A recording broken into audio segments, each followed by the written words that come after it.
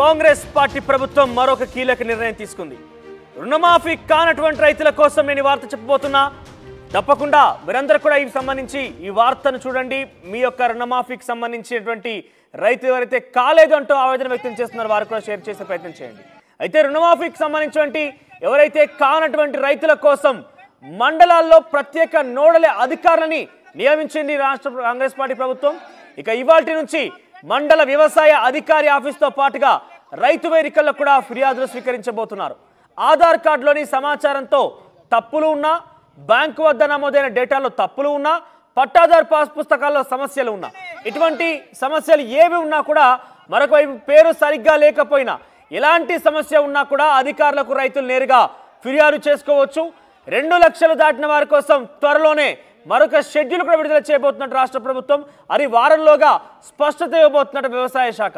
So ప్రస్తుతానికైతే ఎటువంటి సమస్యలు ఉన్నా మీకు రేషన్ కార్డు లేకపోయినా రేషన్ కార్డు ఉన్నా కూడా తప్పుగా పేరు అక్కడ రాయబడిన నేమ్లో ఏదైనా మిస్టేక్ ఉన్నా పట్టా పాస్ పుస్తకంలో ఏదైనా మిస్టేక్ ఉన్నా ఎటువంటి సమస్య ఉన్నా కూడా ఈ రోజు నుంచి మీ సంబంధిత వ్యవసాయ అధికారులు మొత్తం కూడా ఈరోజు వారంతా కూడా నోడల్ ఆఫీసర్ ఏర్పాటు చేసింది రాష్ట్ర ప్రభుత్వం. వారంతా కూడా సమస్యల పరిష్కారం కోసం వినతులు తీసుకోబోతున్నారు.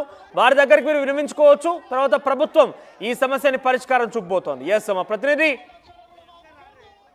మధు జాయిన్ అయ్యారు మనతో పాటు. ఎస్ మధు ఇప్పటికే చాలా పెద్ద ఎత్తున సమస్యలు ఉత్పన్నమవుతున్నాయి.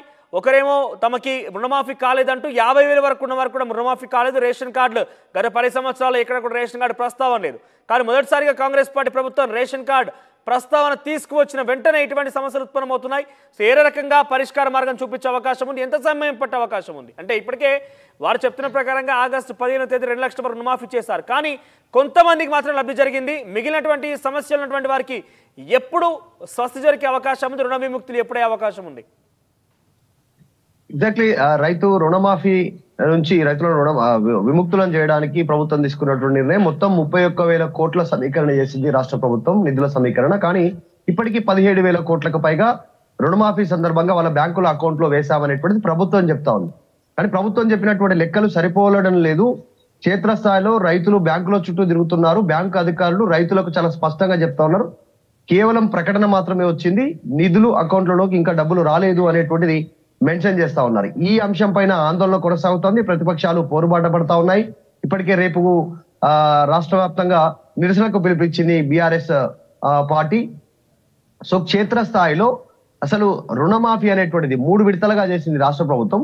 ఒకటి లక్ష లోపు తర్వాత లక్షన్నర వరకు తర్వాత రెండు లక్షల వరకు రుణమాఫీ అనేటువంటిది. ఆగస్టు పదిహేను వరకు మూడు దఫాలుగా చేసినటువంటి నేపథ్యంలో ఎక్కడ కూడా ఈ లక్ష లోపు వారికి లక్షన్నర వారికి రెండు లక్షల వారికి కూడా పూర్తి స్థాయిలో రుణమాఫీ జరగలేదు అనేటువంటిది క్షేత్రస్థాయి నుంచి అందుతున్నటువంటి ఫీడ్బ్యాక్తో ప్రభుత్వం అలర్ట్ అయింది. దీనికోసం ఒక నోడల్ ఆఫీసర్ అధికారిని మండల కేంద్రాల్లో నియమించింది. ఫిర్యాదులు స్వీకరించడానికి ఏ సమస్యతో రుణమాఫీ జరగలేదు అనేటువంటి అంశాలను అందులో మొత్తం తొమ్మిది అంశాలను పొందుపరచాలి పేరు పాస్బుక్లో ఉన్న డీటెయిల్స్ కుటుంబ సభ్యులు ఒక యూనిట్గా ఉన్నటువంటి ఒక కుటుంబం అంతా ఒక యూనిట్గా ఉంటే వారు ఎంత లోన్ తీసుకున్నారు ఏ బ్యాంకుల ద్వారా తీసుకున్నారు అనేటువంటి వివరాలు సమర్పిస్తే దానిపైన త్వరలోనే ఒక విధి విధానాలు కసరత్తు చేసి ఈ రుణమాఫీ చేయడానికి సిద్ధమవుతోంది మిగిలిపోయినటువంటి వారి కోసం. దాంతో పాటు రెండు లక్షల రూపాయల కంటే ఎక్కువగా ఉన్నటువంటి వారి పరిస్థితి ఎలా చేద్దాం? ఏం చేద్దాం? వారికి ఇంట్రెస్ట్ పైన ఇంట్రెస్ట్ కట్టుకుంటే రుణమాఫీ చేద్దామా? లేదు అంటే పైన ఉన్నటువంటి డబ్బులు కనుక వాళ్ళు కట్టుకుంటే రుణమాఫీ చేద్దామా? రెండు లక్షల పైన ఉంటే. లేదు అంటే ఈ ఈ రెండు లక్షల పైన ఉన్నటువంటి వారికి రుణాలను చెల్లించడానికి బ్యాంకు అధికారులతో మాట్లాడి గడువు పెంచి వారికి సమయం ఇద్దామా? అనేటువంటి ఆలోచనలు రాష్ట్ర ప్రభుత్వం చేస్తా ఉంది. దీనికోసం సంబంధించి నిన్న ఆల్రెడీ బట్టి విక్రమార్క బ్యాంకర్లతో సమావేశమయ్యారు. వారికి ఒక స్పష్టమైనటువంటి ఒక సూచనలు చేశారు. దాంట్లో ఫైనాన్స్ ఫైనాన్స్ మినిస్టర్ బట్టి విక్రమార్క కాబట్టి. దాంట్లో ఆ ఇప్పటికే రాష్ట్ర ప్రభుత్వం పదిహేడు వేల కోట్లకు పైగా నిధులను విడుదల చేసింది కాబట్టి కొత్త రుణాలు ఇవ్వడానికి కానీ ఉన్నటువంటి వారికి వెసులుబాటు ఇవ్వడానికి కానీ మీరు ఆ ముందుకు రావాలి అనేటువంటిది బ్యాంక్ అధికారులతో బట్టి విక్రమార్క చర్చ చేశారు.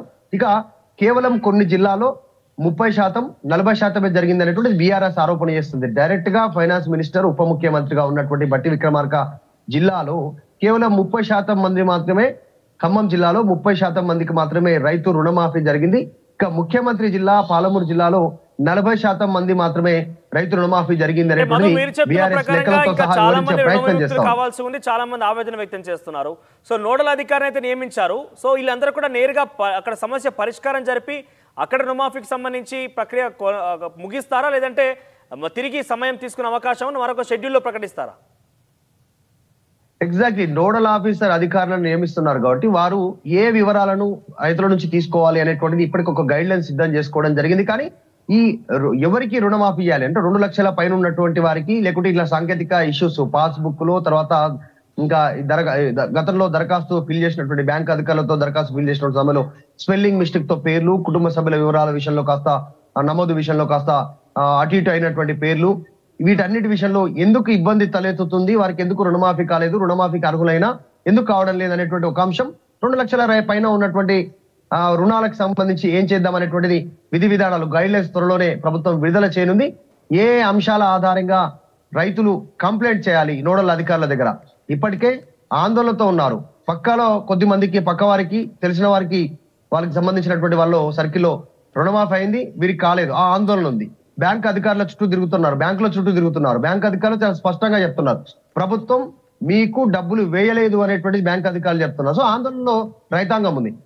చాలా ప్రతిష్టాత్మకంగా తీసుకున్నటువంటి ఈ పథకం కాస్త ఇప్పుడు క్షేత్రస్థాయిలో ఆందోళన వ్యక్తమయ్యే సిచ్యువేషన్ ఏర్పడతా ఉంది. అందులో భాగంగానే ప్రభుత్వం అలర్ట్ అయి మండల కేంద్రాల్లో నోడల్ అధికారులను నియమించి ఫిర్యాదులు స్వీకరించాలి. నేరుగా అధికారుల దగ్గరికి వెళ్ళి సమస్య వినవించుకున్న తర్వాత సమస్య పరిష్కార మార్గం అక్కడే దొరుకుతుందా? లేదంటే ఈ పరిష్కారం చేస్తామని కేవలం అప్లికేషన్ దరఖాస్తులు తీసుకొని వదిలేసి తర్వాత షెడ్యూల్లో ప్రకటించే అవకాశం ఉందా? కేవలం దరఖాస్తులే తీసుకుంటారు ఇప్పుడు కంప్లైంట్ తీసుకుంటారు. తీసుకున్న తర్వాత ప్రభుత్వం దీనిపైన ఒక గైడ్ లైన్స్ విధి విధానాలు ఖరారు చేయనుంది. ఇప్పుడు రెండు లక్షల రుణమాఫీ వరకు ప్రభుత్వం చేస్తాం అనుకున్నటువంటి వాటిలో సాల్వ్ అయ్యేటువంటిది నోడల్ అధికారులు సాల్వ్ చేస్తారు.